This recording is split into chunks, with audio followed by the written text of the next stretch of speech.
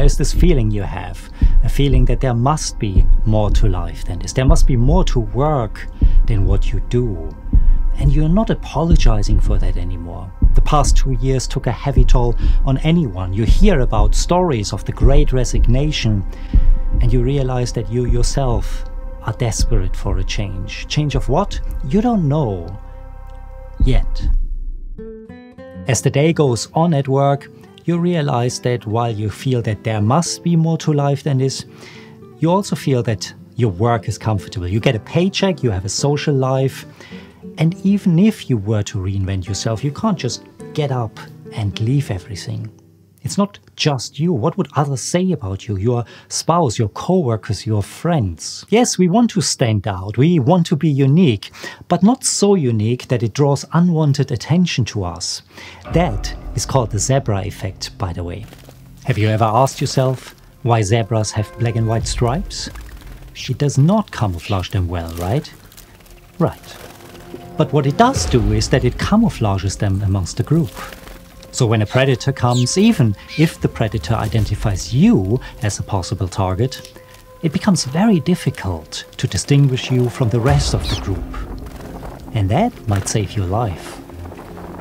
And our desire to blend in somehow is equally an instinct of ours to save us from the dangers of life. But is there possibly a way to reinvent yourself without feeling overwhelmed? It can be quite disheartening when you look at others and you see how it seems very easy for them to change their life and in such a short period of time. What chance do you stand against them? But maybe it's also useful to look at those examples a little bit closer.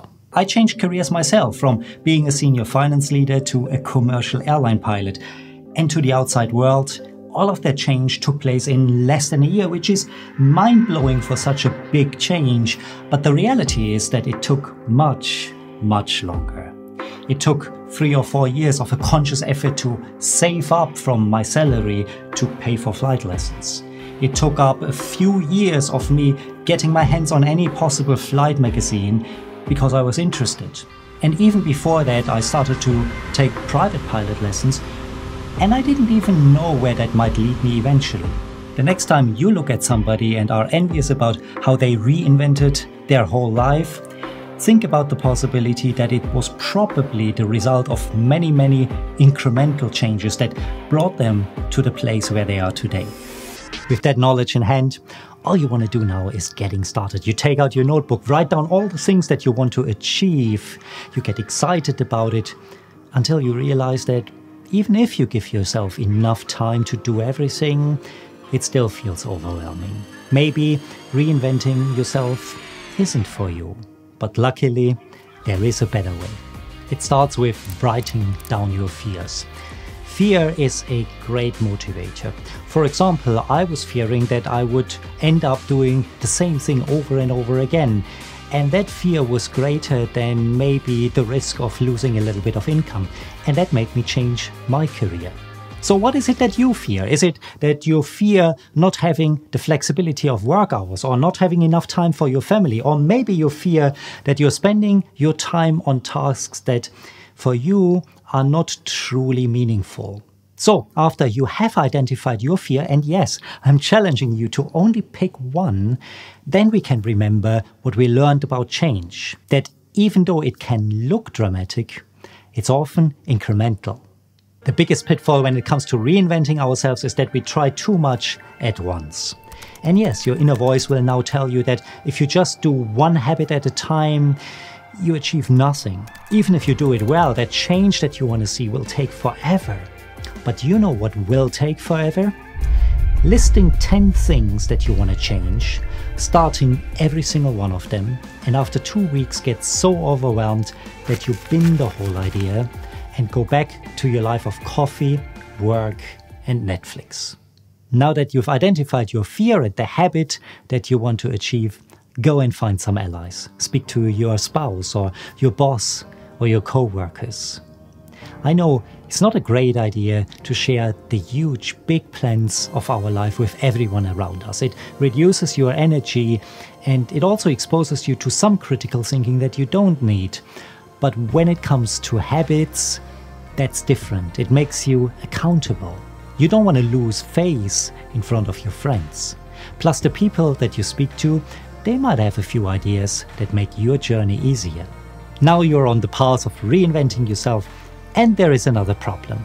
Because a couple of weeks into it, it doesn't feel like anything has changed. All you've done is implement a simple habit. And because you don't see any immediate results, it's very easy at this stage to either give up or conclude that you must be doing something wrong or should be doing something different. This is where you need to trick your brain. See, it will work overtime on all the things that don't have an impact unless you keep it active and engaged. And you might feel compelled to just choose another habit that might be helpful. But you don't want to forget the first one that you just started. So rather stack one habit on top of the one that you just implemented. So if you went to work an hour early to work on something that you find meaningful, why not journal about it on your way home? Now you're not only doing something meaningful, you're also reflecting on it. And once you start doing that consistently, you see changes, dramatic changes. And this is where you face your biggest challenge yet. Things that you loved start to disappear. Your biggest fear comes true. Reinventing yourself is a nice idea, but this new world does not feel like anything you wanted. It's not only in religion that we need to be reborn. Whenever we pursue growth, some of the old you dies. Do you cling on to that or do you embrace it? It was Casey Neistat's video demonstrating how life works.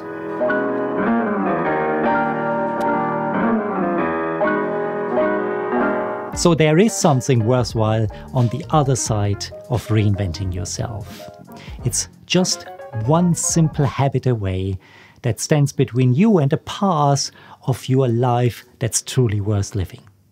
If you loved this message, please share it on your Facebook and Instagram. I really appreciate you. See you next time. Take care.